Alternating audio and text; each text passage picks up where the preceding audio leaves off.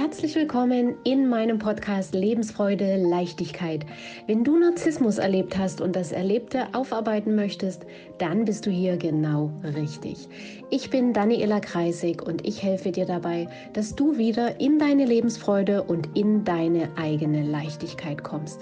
Lass dich inspirieren, lass dich stärken, lass dich ermutigen, denn es gibt ein wunderschönes und großartiges Leben, auch nach erlebtem Narzissmus, das nur darauf wartet, dass du es dir holst. Ich freue mich so sehr, dass du da bist und dass du dir die Zeit für dich nimmst.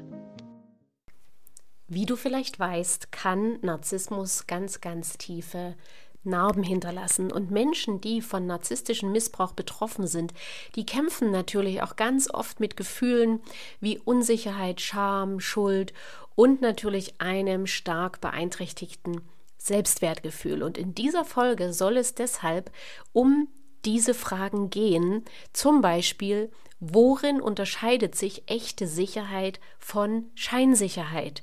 weil, wie der Titel dieser Folge schon sagt, ist Scheinsicherheiten aufbauen eine typische Folge von Narzissmus. Und es geht auch darum, warum es eben Menschen, die Narzissmus erlebt haben, schwer fällt, echte Sicherheit überhaupt erstmal zu empfinden. Und auch, was haben Schuld, Scham und ein schlechtes Gewissen mit Angst zu tun und was haben traumabedingte Glaubenssätze mit unserer Identität zu tun. Und natürlich gebe ich dir zum Schluss wieder einige Lösungsvorschläge, Lösungsansätze, wie es dir gelingen kann, Glaubenssätze und Glaubenssysteme aufzulösen. Und wie immer geht es äh, nicht nur um narzisstische Männer, sondern auch um narzisstische Frauen. Das heißt, wenn ich von Menschen mit narzisstischen Verhaltensweisen spreche, dann meine ich immer beide Geschlechter, weil es sowohl bei Männern als auch bei Frauen gleichermaßen auftritt. Okay, kommen wir zum ersten Punkt. Worin unterscheidet sich echte Sicherheit von Scheinsicherheit? Und echte Sicherheit ist in uns drin ein ganz tief verwurzeltes Gefühl von Geborgenheit, Sicherheit und Vertrauen. Das heißt, echte Sicherheit ist das Ergebnis von stabilen, gesunden Beziehungen, die wir in unserer Vergangenheit, respektive in der Kindheit erfahren haben und, falls wir das nicht in der Kindheit erfahren haben, von innerer Arbeit, also viel innerer Arbeit. Und Menschen, die eben diese echte Sicherheit in sich selbst erleben, die fühlen sich in sich selbst sicher und die vertrauen auf ihre Fähigkeit, Herausforderungen, Probleme zu meistern. Auch wenn sie noch nicht wissen, wie, auch wenn sie vielleicht noch keine Lösung haben, aber tief in sich drin wissen sie, ich schaffe das, ich kriege das hin. Und sie wissen auch, dass sie Unterstützung bekommen, wenn sie sie benötigen und sie können eben auf ihre eigenen Fähigkeiten und ihre eigenen Ressourcen vertrauen. So, und jetzt kommen wir zur Scheinsicherheit. Was ist Scheinsicherheit? Scheinsicherheit ist eine Illusion eine Illusion, die ganz oft auf äußeren Faktoren basiert, wie eben zum Beispiel Status, materieller Wohlstand oder die Zustimmung oder das Wohlwollen von anderen Menschen. Das bedeutet, Scheinsicherheit ist völlig instabil und kann natürlich ganz, ganz leicht zerstört werden, wenn sich die äußeren Umstände ändern. Und wie wir alle wissen, ändern sich diese äußeren Umstände ganz, ganz schnell oder sie können sich ganz, ganz schnell ändern. Das kann sein durch eine Kündigung oder durch eine Insolvenz oder dass jemand äh, verlassen wird, eine Freundschaft gekündigt wird, eine Beziehung aufgelöst wird. Und das wissen wir alle, kann jederzeit passieren. Davon ist niemand oder davor ist niemand von uns gefeit. Und Menschen, die sich in solch einer Scheinsicherheit wiegen, die versuchen dann ganz oft Unsicherheiten, also innere Unsicherheiten durch Kontrolle oder durch Perfektionismus zu kompensieren, was aber letztlich nur zu noch mehr Unsicherheit führt. Und Fallbeispiele für Scheinsicherheiten und echte Sicherheiten sind zum Beispiel, dass ein Beispiel für Scheinsicherheit eine Person ist, die sich in einer Beziehung mit einer narzisstischen Person befindet und eben glaubt, dass diese Beziehung sie schützt, ihr Sicherheit gibt und sie glücklich macht. Aber in Wirklichkeit ist diese Beziehung von Manipulation geprägt, von Kontrolle geprägt. Und sobald jetzt der Partner oder die Partnerin seine Zuneigung, seine Aufmerksamkeit zurückzieht, indem zum Beispiel die Schweigebehandlung äh, vollzogen wird, also dass dann Tage oder Wochen nicht gesprochen wird, dann bleibt natürlich die andere Person mit einem ja sehr sehr schmerzhaften Gefühl des der Verlassenheit zurück. Und ein Beispiel für eine echte Sicherheit ist eine Person, die sich in einer gesunden, unterstützenden Beziehung befindet, in einer Beziehung auf Augenhöhe und wo diese Person ganz genau weiß, dass sie auf ihren Partner zählen kann, aber vor allem, und das ist ganz, ganz wichtig, sie kann auf sich selbst zählen, weil diese Person hat ein starkes Selbstwertgefühl und sie fühlt sich sicher, weil sie selber gesunde Grenzen setzen kann und eben auf ihre eigenen Fähigkeiten und Ressourcen vertraut. Und weil sie weiß, dass sie eben die Herausforderung lösen kann, auch ohne Partner. Ne? Aber mit Partner oder Partnerin, mit äh, einem unterstützenden Umfeld geht das natürlich alles viel, viel leichter. Und weil eben der Partner, die Partnerin sie auch wirklich in schwachen Momenten unterstützt das natürlich auch schon mehrfach gezeigt hat, bewiesen hat. Aber wie gesagt, der wichtige Unterschied ist, dass die Person in sich selbst die Sicherheit hat. Das heißt, ihre Sicherheit ist nicht abhängig vom Verhalten von anderen. So, und warum fällt es jetzt Menschen, die Narzissmus erlebt haben, eigentlich schwer, echte Sicherheit zu empfinden? Und Menschen, die von narzisstischem Missbrauch betroffen sind oder betroffen waren, die haben natürlich oft ein sehr verzerrtes Verständnis von Sicherheit. Weil, wie du sicher weißt, manipulieren narzisstische Menschen ihre Opfer, indem sie sie von ihren eigenen Gefühlen der Sicherheit und der Selbstachtung trennen. Das passiert durch Gaslighting, durch emotionale Manipulation und natürlich wie immer durch Kontrolle. Und damit wird das Selbstwertgefühl des Opfers zerstört. Und das macht es dann natürlich schwierig, echte Sicherheit zu empfinden, weil ohne Selbstwertgefühl kein Gefühl der Sicherheit. Und da Menschen mit narzisstischen Verhaltensweisen oft auch dazu neigen, ihre Opfer glauben zu lassen, dass sie der einzige Schutz vor der in Anführungszeichen bösen, gefährlichen Außenwelt sind, entwickeln natürlich die Opfer ganz oft oder eigentlich fast immer eine Abhängigkeit von einer narzisstischen Person. Und ein ganz typisches Beispiel dafür ist, dass eben Freunde oder gute Bekannte der betroffenen Person schlecht gemacht werden, sodass Betroffene den Kontakt zu diesen Menschen dann reduzieren oder schlimmstenfalls sogar ganz abbrechen. Und damit machen sie sich natürlich noch mehr abhängig von der narzisstischen Person. Und diese Abhängigkeit fördert das Gefühl der Scheinsicherheit, das auf der Zustimmung oder eben der Anerkennung der narzisstischen Person basiert. Und sobald aber die narzisstische Person verschwindet oder sie eben ihre Zuneigung zurückzieht, wenn es quasi wieder in die Bestrafungsphase geht, dann bricht das Gefühl der Sicherheit bei der betroffenen abhängigen Person völlig zusammen.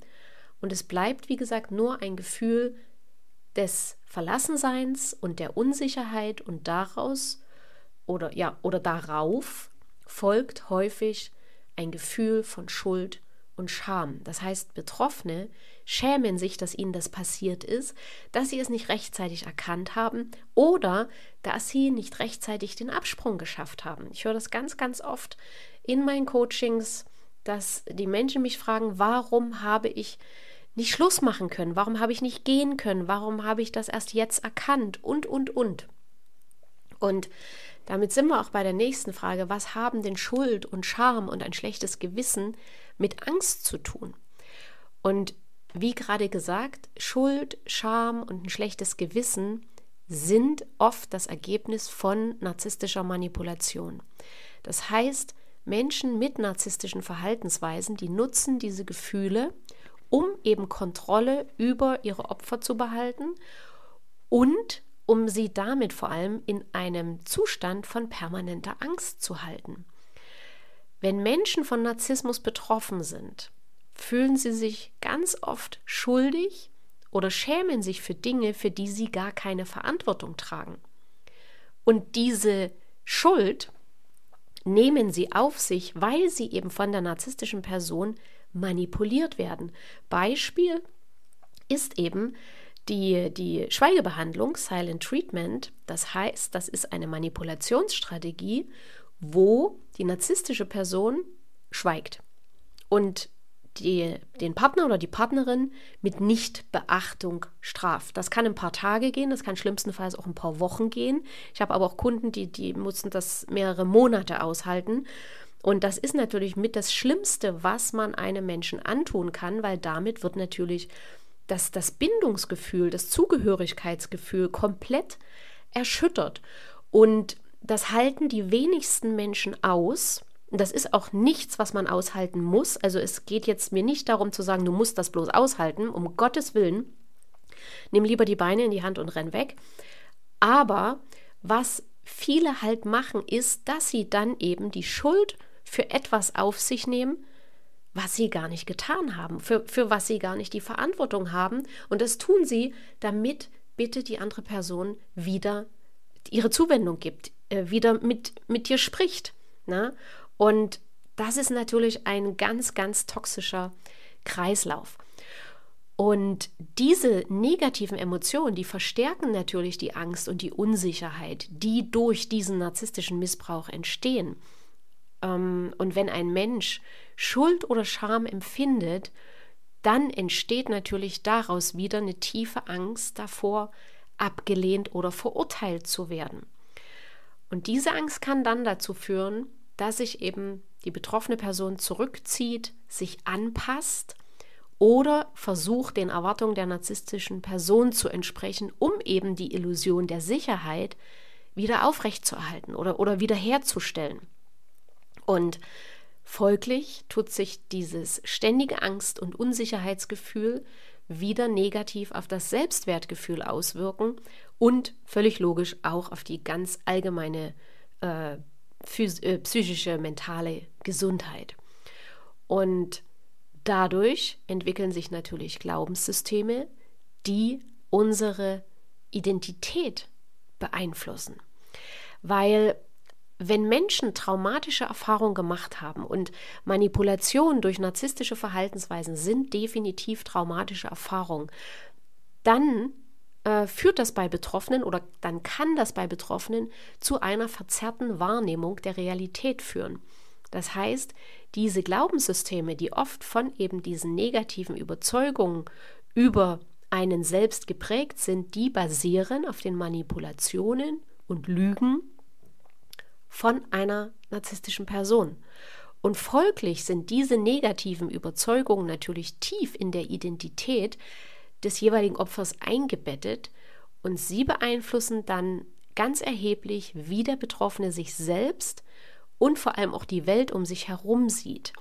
Das heißt konkret, dass zum Beispiel jemand über sich selbst glaubt, dass er nicht liebenswert oder, oder dass er nicht wertvoll ist oder dass jemand ständig um die Anerkennung anderer kämpfen muss, dass er keine Aufmerksamkeit oder Zuwendung verdient hat, wenn er nicht kämpft oder wenn er nicht immer wieder beweist, dass er gut ist, dass er besser ist als andere. Und wer all diese negativen Gedanken über sich selbst hat, für den ist es logischerweise fast unmöglich, ein gesundes Selbstverständnis zu entwickeln. Okay, also wie kann es nun gelingen, Glaubenssätze und Glaubenssysteme aufzulösen? Und hier sei zuerst mal gesagt, dass das Auflösen von solchen Glaubenssätzen und Glaubenssystemen Zeit braucht, Geduld braucht und dass das eine tiefe innere Arbeit ist. Und der erste Schritt besteht darin, sich dieser negativen Überzeugung bewusst zu werden und zu erkennen, wie sie sich auf dein Leben auswirken und natürlich, ein guter Coach kann hier auf jeden Fall dir sehr, sehr wertvolle Unterstützung leisten. Und wenn du mich dazu an deiner Seite haben möchtest, dann buch dir gern einen kostenlosen Kennenlerntermin in meinem Kalender. Den Link dazu findest du hier in den Shownotes. Brauchst du nur draufklicken, in Kalender gucken, schauen, welche Zeit für dich passt und dann sehen wir uns per Zoom. Und der erste Schritt ist dann, dir bewusst zu machen, dass die Scheinsicherheiten, wie eben das Sammeln von Statussymbolen, dein Versuch sind, innere Sicherheit aufzubauen. Äh, aufzubauen. Daran ist gar nichts verwerflich und das ist auch nicht unnormal, weil vielleicht hast du jetzt den Gedanken, wie auch ganz viele meiner Kunden, die mich dann immer anschauen und sagen, das ist doch nicht normal. Doch, doch, das ist normal. Das ist ein normales Verhalten auf unnormale Situationen, die in deiner Vergangenheit stattgefunden haben. Und von daher, falls du dich gerade selbst innerlich auspeitscht und kritisierst, das kannst du bitte sofort beenden und bitte ab sofort ganz, ganz liebevoll im inneren Dialog mit dir selbst sein. Wenn du Narzissmus erlebt hast, dann hast du genug Abwertung und Kritik erfahren in den letzten Jahren oder vielleicht sogar Jahrzehnten. Meine Liebe, mein Lieber, das musst du nicht noch jetzt weitermachen. Okay? Du kannst jetzt die erste Person sein, die ab sofort ganz, ganz liebevoll mit dir spricht und die diesen inneren Scharfrichter in die Wüste schickt. Okay? Also rede liebevoll mit dir im inneren Dialog und hör auf, dich selbst innerlich auszupeitschen und zu kritisieren. Damit machst du dich nur noch kleiner. Und Schritt zwei ist, dass du dich zum Beispiel hinsetzt und aufschreibst, was du über dich selbst denkst.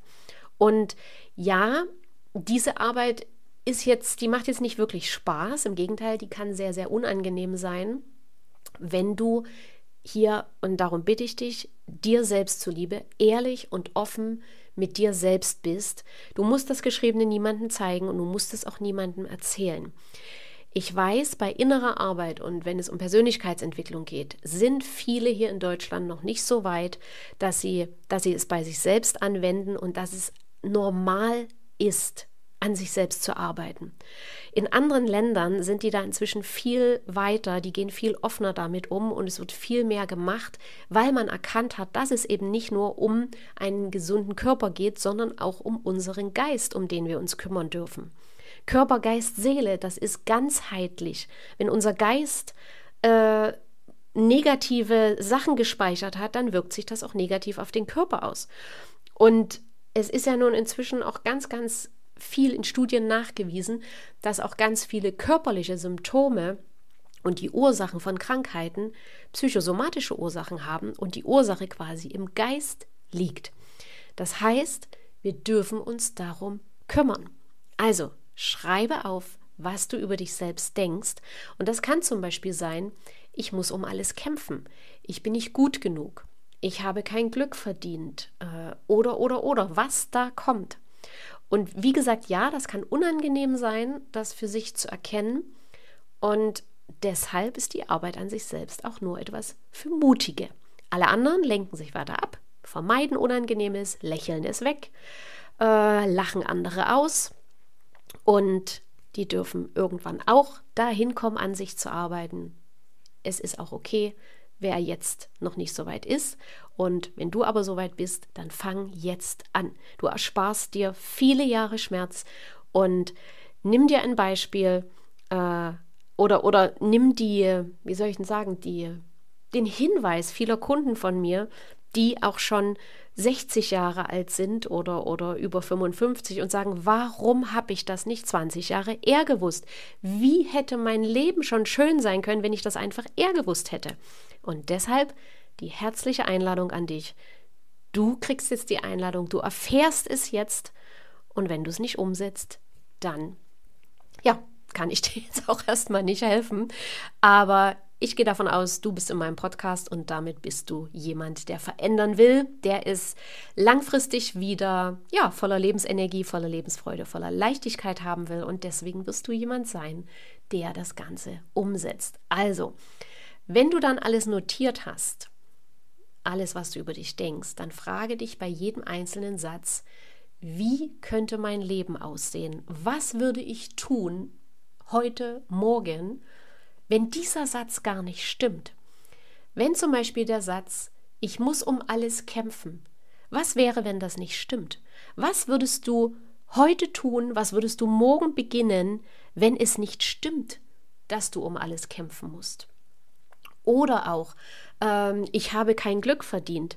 Was wäre, wenn das nicht stimmt? Gib dich einfach mal in diese, äh, ja, dieser hypothetischen Frage hin und lass deiner Fantasie freien Lauf. Und wenn du da richtig reingehst, da werden sich ganz, ganz viele Möglichkeiten für dich finden, was du tun kannst. Und dann heißt es umsetzen und machen.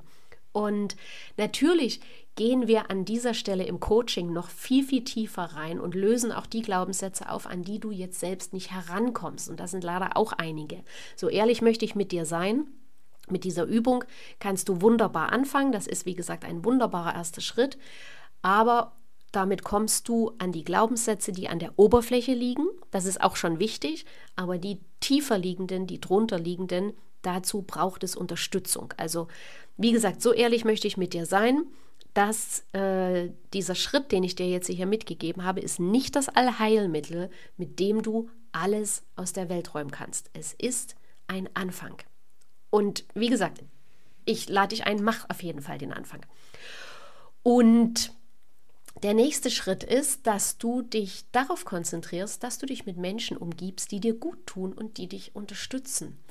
Menschen, die dich ermutigen, die an dich glauben und die dir Freude bringen, wo du dich gut fühlst, die dir gute Energie geben, weil auch das kann dein Gefühl der inneren Sicherheit stärken. Okay? Also, Schritt 1, nochmal zusammenfassen, mach dir bewusst, dass diese Scheinsicherheiten, wie das Sammeln von Statussymbolen, dein Versuch sind, innere Sicherheit aufzubauen und komm dahin, dass du für dich sagst, es ist okay. Ja, bisher habe ich es nicht besser gewusst, besser habe ich es nicht besser gekonnt und es ist okay, dass ich das bisher so gemacht habe. Und Millionen, viele, viele Millionen haben das genauso gemacht, weil, wie gesagt, es ist ein normales Verhalten auf unnormale Situationen aus deiner Vergangenheit. Das können deine Eltern gewesen sein, das können Großeltern gewesen sein, Lehrer, das kann aber auch Partner gewesen sein. Schritt zwei, äh, setz dich hin und schreibe diese Glaubenssätze auf, was du über dich selbst denkst. Und Schritt drei, such dir Menschen, die dich unterstützen, die an dich glauben, ja, die dich ermutigen. Und den anderen, die das nicht tun, wenn du den Kontakt nicht reduzieren kannst, dann erzähle ihnen nichts davon. Weil mit ziemlicher Sicherheit werden sie das Ganze belächeln, sie werden es klein machen und das ist das, was du jetzt gar nicht gebrauchen kannst. Also such dir die Menschen, die dich unterstützen. Ja, okay, damit sind wir am Ende dieser Episode angelangt und wenn du einiges für dich mitnehmen konntest, dann freut mich das sehr. Setz es bitte um. Wenn du meine Unterstützung auf deinem Weg haben möchtest, dann buch dir gern einen kostenlosen Kennenlerntermin. Wie gesagt, den Link findest du in den Show Notes und dann sehen wir uns per Zoom. Und wenn du Fragen hast, dann schreib mir gerne eine E-Mail und ja, wenn du mehr Content von mir möchtest, dann folg mir auf meinen Kanälen. Du findest mich auf TikTok, auf Instagram, auf LinkedIn und auf YouTube. Und ansonsten freue ich mich, wenn wir uns in der nächsten Folge wieder hören. Bis dahin, eine gute Zeit für dich und alles Liebe, deine Daniela. Tschüss.